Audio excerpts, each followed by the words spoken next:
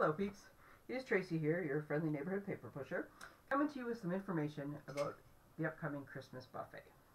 And I thought I would give you, because I got a couple strange looks when I mentioned Christmas buffet, um, the how-to on how to do a Christmas buffet.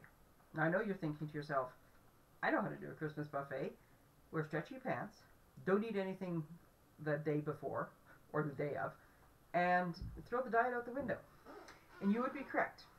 But what I'm referring to today is a Christmas card buffet. So, some similarities. We are going to have some snacks, but you might want to have a, you know, a meal or two before you come. Uh, we are going to um, have a variety of things, and it is up to you to pick how much or how little of each one you want. But in the end, you're going to have lovely cards that you can gift to family and friends. So I've sent, I've attached this poster. Uh, the one that's in the newsletter actually was after I realized that I needed numbers, so it's got a better number job on there, but waste not, want not on the paper. So these are the options that you have. And in general, I will prep enough that everybody who comes to the buffet could make two or three of each of these cards. If, and that's kind of how it's designed, right? Bigger variety, there's lots of different samples.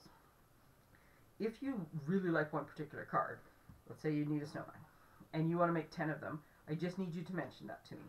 That's uh, It says it right in here, and it says it right on the RSVP link. Um, it asks you, is there any one card you want to make multiples of? It is no problem if you want to make 4, 6, 8, 10 of something. I just need to know ahead of time so I make sure I prep enough of that card. Because uh, like I said, I usually prep about 2 or 3 per person. So what's going to happen when you come to a Christmas buffet? You're going to walk in the room, and yes, there will be a table with some snacks and treats, because that's how I roll. Our events are as much socializing and snacking as they are making crafts, so you know that that's always going to be there. There'll be a table at the front of the room that shows, or that has a couple uh, machines on them. One will be set up for die cutting, one will be set up for embossing. Uh, there might be a couple stamp sets that or that are used in more than one thing, or just to give you like options for sentiments. It'll be up at the front of the room because they're more just communal offerings. But mostly what you're going to see is eight of these bins, um, and it's a little hard to show you from an overhead view, but eight of these bins sitting on a table, and on top of each one of them, there's going to be a card tented like this, so you can see what it is. So you're going to walk around, you're going to look at what's out there, and you're going to decide how much you want. Um, I'll give you an idea, before we get started on the what's in the bin, I will give you an idea of your card options for this particular buffet. So the first one that we showed you, I like to give them fun names. This one's called Simple Santa, and I absolutely love this card. And this card for me, you know, you're giving it to, you know, some of the guys in your life, teenagers in your life, or, or me, who just likes a really cool, simple card. There you go, Simple Santa. Uh, this one, Pretty Forest.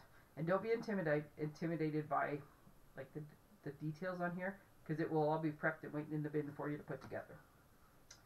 Uh, this card, we have a couple options on. It's called Peekaboo Christmas, and it's designed to go with like a little snowman coming through here. Now I do have, I'll try to angle them so you can see, this one has kind of like a an animated house, a snowflake, and kind of mountains and snowflakes. The, so you have different embossing folder options, and just because I like to have options. And then you'll notice that we have a snowman in one, and then we have a couple forest animals in the other. You know me. I love me a good moose. So because I love you guys, I have cut an entire sheet of DSP, and by the time this event comes around, I might have cut a second one that has a couple different fox images. One of them is sleeping. The deer, or the moose, the deer, a bunny, I think that's all. Um, so these will be pre-cut just in case you want to put animals in there. If not, snap yourself a snowman. So we have that one. This is our spruced up card. Love how bold and bright and fun this card is. Uh, sweet gingerbread. Now, and I could say this is a kind of a childlike card, or it's a Tracy-like card, because I do love this card and I do love gingerbread. Uh, hankering back to my forestry roots. Can you see the dimension on there? There we go. This is our forestry snowman. Totally love it. Thank you to a demonstrator in the Netherlands whose name has just left my head, who made a tall, thin version of this card. I guess I don't do anything tall and thin. So this is, I, I scaled it down to our standard card size and absolutely adore this card.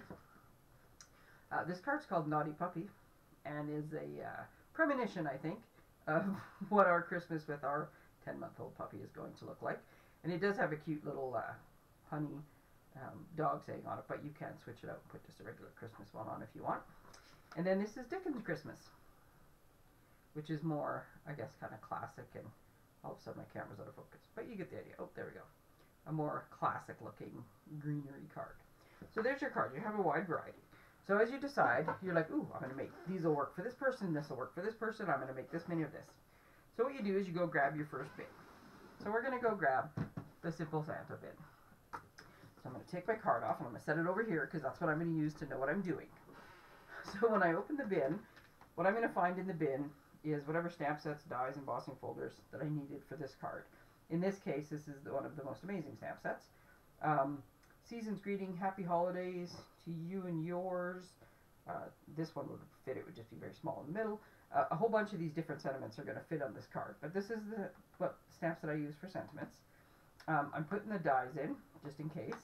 And then this is a retired stamp set, but I added it in because it has this cute little Santa hat in it. And as you know, I like to stamp on the envelopes, oops, screen, and I like to stamp on the inside of the cards. So if it doesn't have a coordinating one, because this one is actually not a Christmas set, this is actually just called the Rugged Icon dies, and as you could see by the dies, they're very cool. But it didn't have a stamp set that went with it, that went with a Christmas card, so I just found one to work for.